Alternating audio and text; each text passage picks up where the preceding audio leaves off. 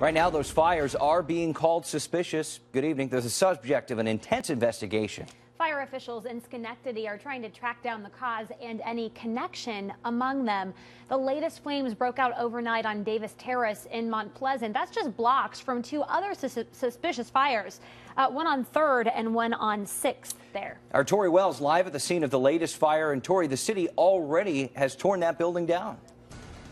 Yeah, this is all that's left, just some rubble covered up by that plastic sheet there. The demolition crews rolled in right around noon, tearing what was a home to the ground. But this is not the end. The Schenectady fire chief tells me that his department, police, ATF, and state fire investigators are trying to figure out what happened here and if this is related to those other two fires.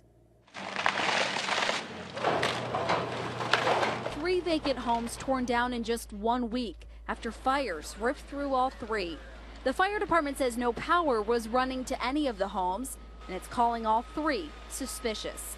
Tonight, officials are not saying if the fires are connected, but they're looking into that possibility.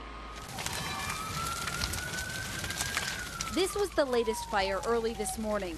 A viewer gave us this video. Those were the images Bonnie Cordy remembered as she watched this home come down today. When I opened my eyes, my whole bedroom was just lit right up. So I started screaming. My husband jumped up. I looked out the window and I could see all the flames that were way above the house. Aaron Blackman lives in this home, damaged by the heat.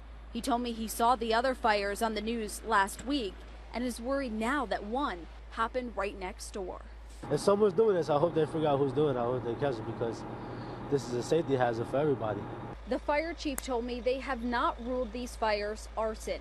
There's certain criteria that needs to be met for that, and the investigation is still ongoing. Maybe if they patrolled around here a little more would help us out.